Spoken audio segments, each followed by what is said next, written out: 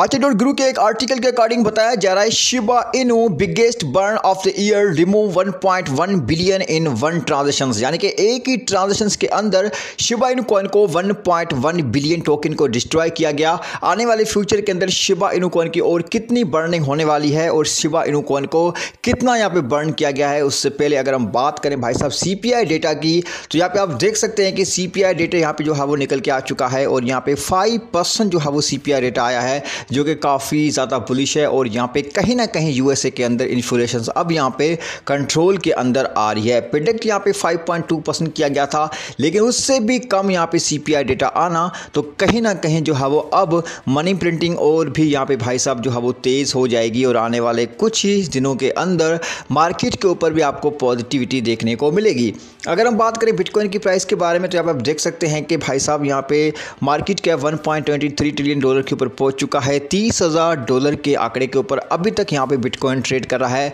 अब यहाँ पे यहाँ से जो है वो प्रिडिक्ट किया जा रहा है कि बिटकॉइन जो है वो थर्टी फाइव थाउज़ेंड डॉलर तक भी जा सकता है और ऐसे में कहीं ना कहीं मार्केट के अंदर पॉजिटिविटी हमें आती हुई नज़र आ सकती है। उसी के साथ अगर हम बात करें शिबा इनकॉइन के बारे में तो पर देख सकते हैं कि कम्युनिटी के द्वारा कंटिन्यूसली शिबा इनकॉइन को बर्न भी किया जा रहा है और शिबा इनकॉइन की आए दिन यहाँ पे जो है वो काफ़ी ज़्यादा ट्रांजेक्शन भी हो रही है, जिसके दौरान शिबा इनकॉइन को डेड वॉलेट के अंदर ट्रांसफ़र किया जा रहा है। अगर हम यहाँ पे इथर स्कैन को ओपन करेंगे यहाँ पे आप देख सकते हैं कि इथर स्कैन के ऊपर एक यहाँ पे ट्रांजेक्शन डिटेक्ट की गई है, जिसके अकॉर्डिंग यहाँ पे 1.1 बिलियन टोकन को बर्न किया गया और इसी तरीके से शिबा इनोकॉइन को और भी फ्यूचर के अंदर बर्न किया जाएगा, जब यहाँ पे इसकी खुद की शिबिरम ब्लॉकचेन का टेस्ट नेट आ जाएगा और शिबिरम ब्लॉकचेन रन होना स्टार्ट हो जाएगी। तो भाई साहब, देखो, अभी तक इको डेवलपमेंट फ़ेज़ में है। जब तक शिबा इनोकॉइन की ऑफिशियल बर्निंग स्टार्ट नहीं होगी, जब तक शिबा इनोकॉइन का प्रॉपर तरीके से बर्न पोर्टल अपग्रेड नहीं होगा। जब तक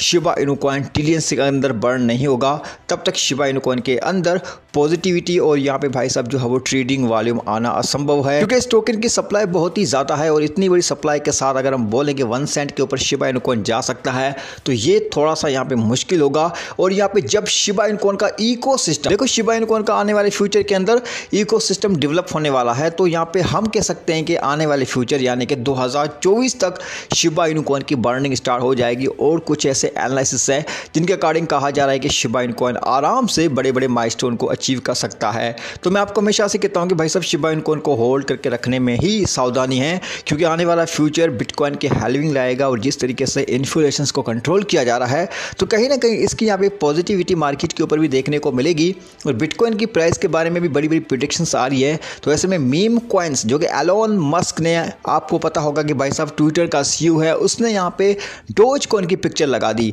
यानी कि जो है वो मीम कॉइन्स को काफ़ी ज़्यादा लोग पसंद करते हैं और शिपा इनू कॉइन का मीम टोकन्स की दुनिया के अंदर एक बहुत बड़ा नाम है, जिसका इको